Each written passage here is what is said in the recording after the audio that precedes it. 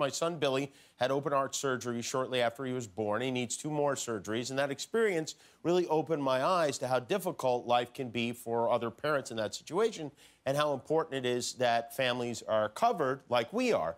Unfortunately, the plan Senator Cassidy and his colleague Lindsey Graham came up with does not sufficiently protect those parents or their children or anyone really. And so I called him out on that. He was going around telling people it passed the Jimmy Kimmel test, and it doesn't. Obviously, it's a personal thing for me. So this weekend, I was in three cities over the weekend and also at a charity event on Saturday night. I met so many people who came up to me, strangers. Almost every one of them was a stranger, to, wanting to tell me that the Affordable Care Act that our president and half of our senators are so desperately trying to kill saved or drastically improved their lives, uh, members of their families' lives, and or their children's lives. They came up to me and they said, Mr. Fallon, thank you for speaking out. and I just let it go because. So my wife and I were worried about health care. We didn't like what the Republicans were doing. So we decided to have a baby with congenital heart defects.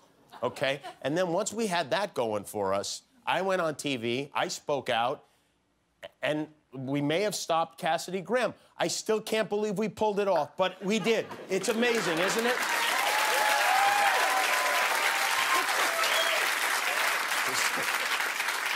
Is uh, really unbelievable. You know, since I started speaking about this, I've been fact checked by against Bill Cassidy by at least six different organizations. Every one of them came down on my side. Every major health organization in the United States is on my side. Every major charity that has to do with health and Medicare is on my side because the facts were on my side. It has nothing to do with me. I'm just it's just a matter of what's true and what isn't true. So listen, healthcare is complicated.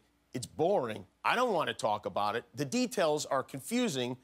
And that's what these guys are relying on. They're counting on you to be so overwhelmed with all the information, you just trust them to take care of you, but they're not taking care of you. They're taking care of the people who give them money, like insurance companies, and we're all just looking at our uh, Instagram accounts and liking things while they're voting on whether people can afford to keep their children alive or not.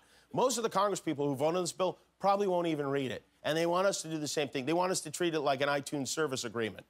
And this guy, Bill Cassidy, just lied right to my face. My area of expertise is eating pizza, and that's really about it. but we can't let him do this to our children and our senior citizens and our veterans and or to any of us. And by the way, before you post a nasty Facebook message saying I'm politicizing my son's health problems, I want you to know I am politicizing my son's health problems because I have to.